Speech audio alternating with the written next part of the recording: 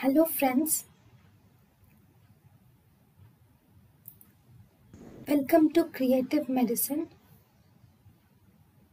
In this lecture, we will learn about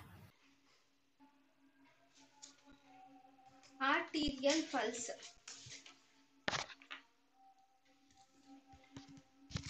Arterial pulse. Arterial pulse are of different types.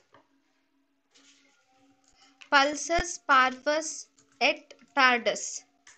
Pulsus parvus et tardus means there is low amplitude with slow raise is seen in pulsus par parvus et tardus.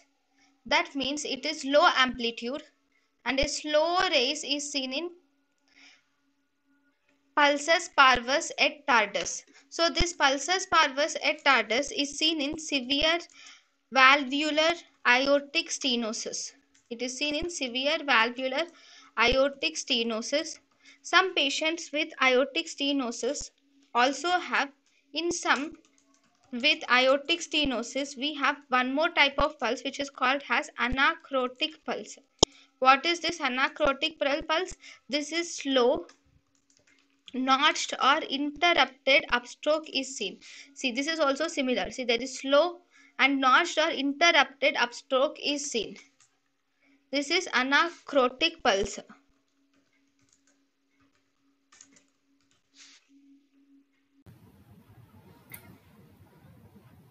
thank you and thank you for watching.